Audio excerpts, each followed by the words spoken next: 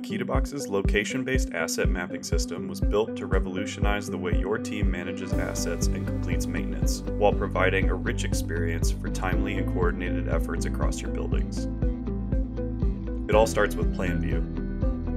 Akitabox uses a direct integration with Autodesk Revit, paired with our team of on site data collectors, to give your organization new, accurate floor plans in a BIM file format, providing a digital ecosystem that will stand the test of time.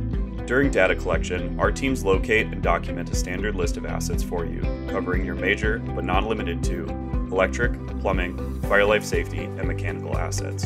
QR codes get placed on your major assets and can be scanned for rapid access to asset information in the field. Our teams take photos of the assets for clear identification amongst your teams, in addition to entering the name, manufacturer, model, and serial numbers.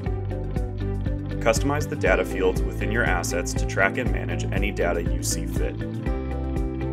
Important documents, such as O&M manuals and warranty information, can be uploaded and connected directly to an asset. After Akitabox implements your major assets, you have the power to add as many new pins and pin types as you see fit. Build out your Akitabox solution to track any asset in your facilities you need. If you want to add a new asset directly to your floor plan, access Plan View, and click on the Add button in the top right of your screen.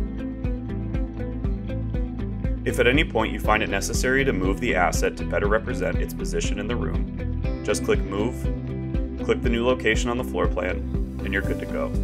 This asset's new location will update for all to see. If you want to view recent activity of the asset and work orders associated with it, click More Details. This will bring you to the assets information and list view where you can add internal notes, add new work orders, and take other necessary actions.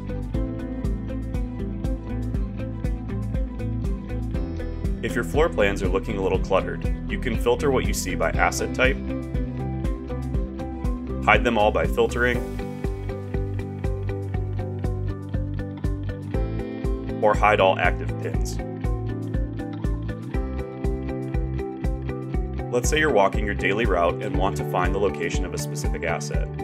You can use the search bar up above to quickly find the location of an asset and its information. Akitabox was built as a reservoir of information that allows better decision making with increased speed and accuracy. Say goodbye to time lost searching and welcome in a new future of time saved while doing. Akitabox. Learn more at akitabox.com.